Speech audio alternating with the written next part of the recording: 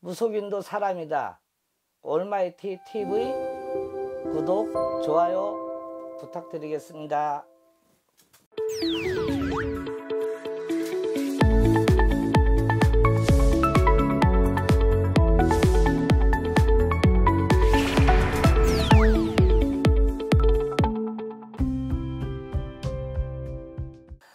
이때가 참 사춘기 때고 민감한 때기도 하잖아요. 그래서 마음과 정신이 산란한 해가 들어와요. 그러다 보니까 흔들려서 내가 다른 친구들을 만나도 좋은 친구보다는 나쁜 친구들이 하는 행동이 멋있어 보일 수도 있고 그렇거든요.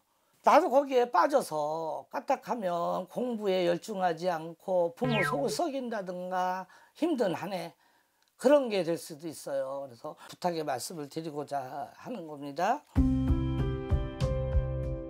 갑술생 27세 어, 대체적으로 운이 좋아요. 어, 그래서 금전운도 좋은 편이고 내가 직장을 못 구했던 분들 이런 분들도 직장을 구할 수도 있는 운이고 어, 그런 형상이죠. 직장에서도 내가 새롭게 도약하는 해도 되고 이런 분들은 올해 이제 뭐 여지까지 내가 직장 없이 직장을 갖기 위해서 여지까지 시험만 보다가 낙방하고 낙방하고 또 미역국 먹고 그랬다 그러더라도 올해는 취직을 하는 한 해가 될 거예요. 취직운이 굉장히 강성하게 들어오니까 그리고 애정운도 좋아요. 특히 3월달생 7월달이 생일이신 분들 이제 내가 배우자를 만나는 한 해야.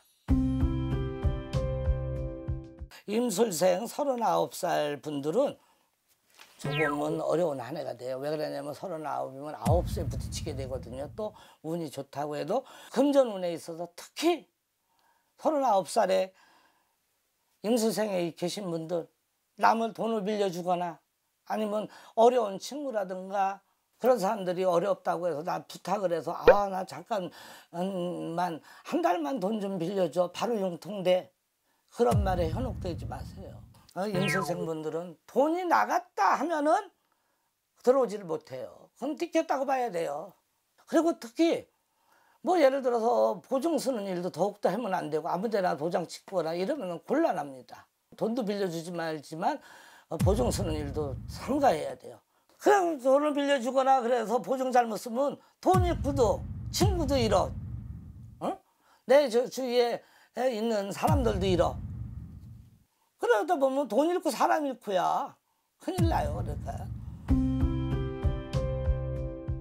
이분들의 운세는 좋아요. 올해는 이제 운이 대운이 들어오는 해거든요. 새로운 마음을 갖고 도약을 해야 돼. 이제는 이분들은.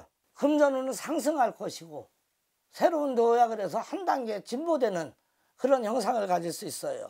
뭐 예를 들어 사업하시는 분들은 어, 투자도 해도 되고 예를 들어서 뭐 장사하시고자 내가 이거를 해볼까 저거를 해볼까 투자를 해서 장사를 해볼까 아니면 사업을 해볼까 주저주저 하시는 분들은 하셔도 좋다는 얘기를 드리고 싶고요. 그래서 올해 크게 나쁜 운은 없어요. 51세 경수생들 분들은 건강 운도 좋고 뭐 애정 운도 올해는 좋아요. 근데 51세 분들은 올해 운이 들어오는 해, 새롭게 시작되는 해 그렇게 보시면 되겠습니다.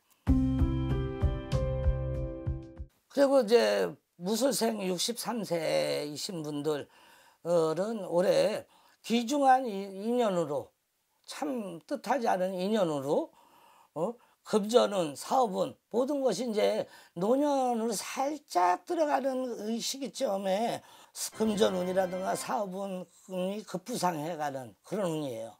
그래서 이제 마지막으로다가 이제 좋은 운이 들어온다고 볼 수 있는 해가 되죠. 그래서 타인으로 인해서 어떤 도움을 얻거나 귀인이 나타나는 해야.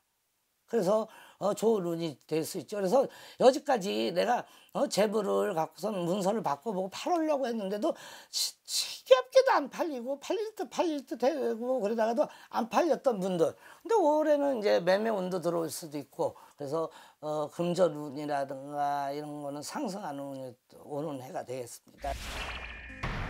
또 경자년 어, 개띠생이신 분들 어, 좋은 분들도 있고 어려우신 분들도 뭐 있겠지만 그래도 대체적으로 좋은 운도 한쪽으로 들어오고 하니까 어, 올해 한 해 슬기롭게 넘어가고 하시면 좋겠어요. 그리고 또 재물이나 금전 쪽으로 부각이 되는 형상의 운이네요. 그래서 올해는 가정에 이제 뭐 금전 재물도 잘 풀릴 수 있고 하니까 다른 건 큰 걱정은 없다고 보겠습니다. 하여튼 2020년도 경자년에 여러분들 항상 가정에 행운이 가득하길 바랍니다.